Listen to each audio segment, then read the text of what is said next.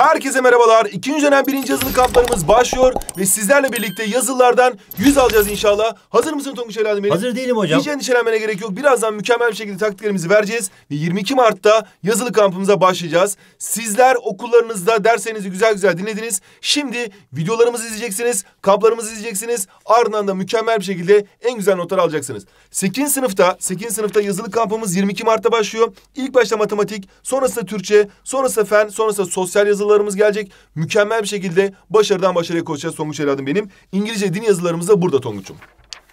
Peki yazılıdan nasıl yüz alınır? Öncelikle yazılı öncesi yapmamız gerekenler var. Yazılı anda yapmamız gerekenler var. Ve yazılıyı hocalar nasıl hazırlıyor bunu da söyleyeceğiz Songuç'um. Ve ardından da sana bazı taktikler vereceğiz. Şimdi beni dikkatli dinle.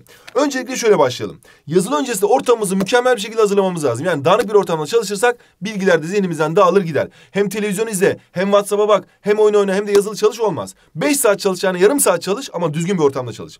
İkincisi konuları çok iyi bir şekilde bilmemiz lazım. Neden? Çünkü konular zaten esasla belli. Konular Milli Eğitim Bakanlığı kazanımlarından geliyor ve bizler de yazılı notlarımızda sizlere tek tek konuları başlığında veriyoruz. Diyoruz ki bak bu konulardan böyle gelecek. Konuları da soruları da net bir şekilde bilmemiz gerekiyor. İkincisi konular Tonguç'um. Konular zaten Milli Eğitim Bakanlığı kazanımları şeklinde okuldaki hocalarımıza veriliyor. Hocalarımız da bu kazanımlara bakarak konuları belirliyor ve bizler de yazılı notlarımızda sizler için tek tek her birinde bütün sınıflarda 4'te, 5'te, 6'da, 7'de, 8'de tek tek tüm konuları belirledik. Senin sınıfında da bunların hepsi belli. Mutlaka bu konulara çalışmalısın.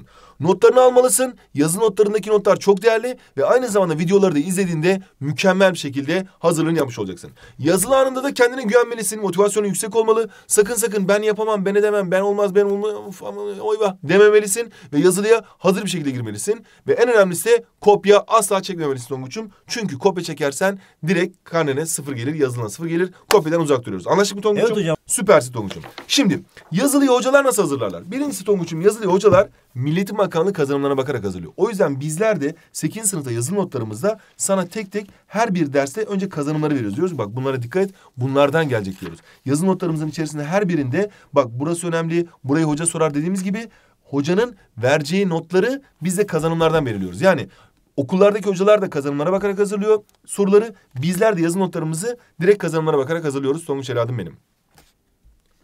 Şimdi Tonguç'um anlatacaklarımı dikkatli bir şekilde dinle. Çok önemli şeyler söyleyeceğim. Birincisi yazıldan önce çalışma ortamını hazırla demiştik. Şimdi sana soruyorum Tonguç'um. Çalışma ortamını hazırlarken orada sadece sınavınla alakalı sadece ilgili defter kitaplar mı olmalı yoksa alakasız eşyalar da olmalı mı? Bilemedim hocam. Nasıl bilemedim Tonguç'um? Tabii ki alakasız eşyalar olmayacak. Bak bunu atıyoruz. Sadece ilgili defter ve kitaplar olacak ki tam anlamıyla odaklanabilesin ve sınavından da en güzel not alabilesin.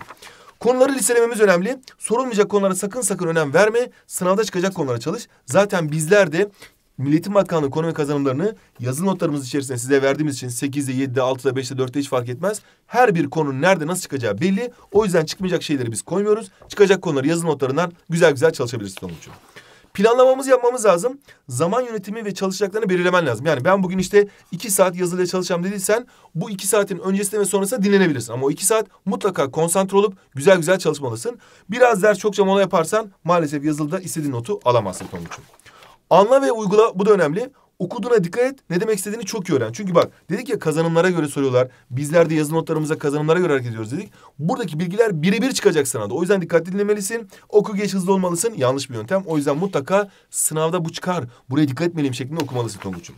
Rahatlamak da önemli. Ders çalışma aralarına mutlaka kısa molalar koymalısın. Ama bir saat ders, bir saat oyun dersen o zaman olmaz. Sınava hazırlanmamış olursun. Zaten sınavdan bir gün öncesinde değil birkaç gün öncesinde çalışıp güzel güzel en iyi notlar almalısın. Tekrar etmek, pekiştirmek de önemli.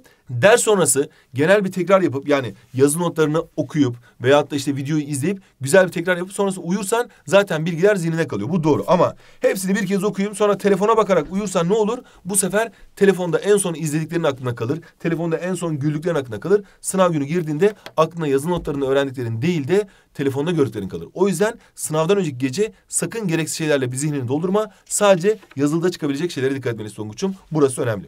Şimdi o zaman Konu ve kazanımlar belli. Her biri hazır.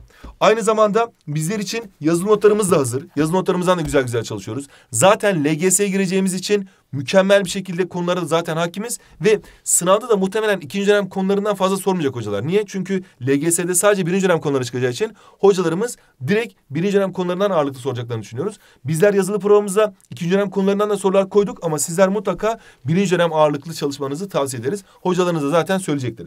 Aynı zamanda Dinamo soru bankalarımızda da sizler için yazılı provaları var. Buradan da güzel güzel çalışabilirsiniz Tonguç benim. Bunları Tonguç mağazadan ya da size en yakın Tonguç yapısından alabilirsiniz. İnşallah sınavda da en yüksek başarılara ulaşacaksınız Tonguç ile benim. Hadi bakalım ödülü soru yorumları bekliyoruz. Hem LGS'de hem de yazılarınıza şimdiden büyük başarılar diliyoruz.